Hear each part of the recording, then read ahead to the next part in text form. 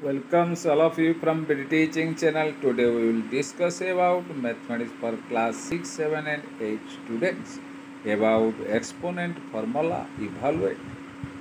2 power 2 plus 11 power 2 plus 19 whole power 1 by 2 whose whole power 3.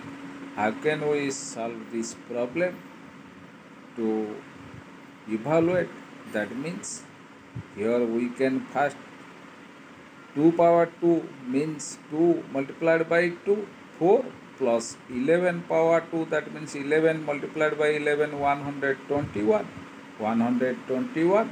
plus 4 plus 19 equal to 144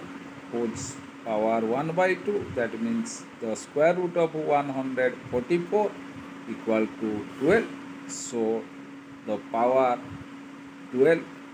is 3 that means 12 multiplied for 3 times 12 multiplied by 12 multiplied by 12 equal to 1728 in this way we can solve Solution will be 2 power 2 plus 11 power 2 plus 19 whose whole power 1 by 2 whose whole power 3. So 2 power 2 that means 2 multiplied by 2 4 plus 11 power 2 that means 11 multiplied by 11 121 plus 19 whose power 1 by 2 whose whole power 3 so 4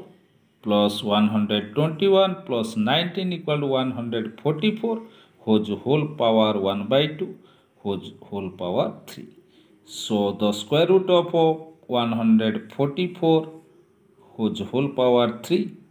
the square root of 144 equal to 12 power 3 that means 12 multiplied by 12 multiplied by 12 equal to 1728 in this way we can solve this problem to get the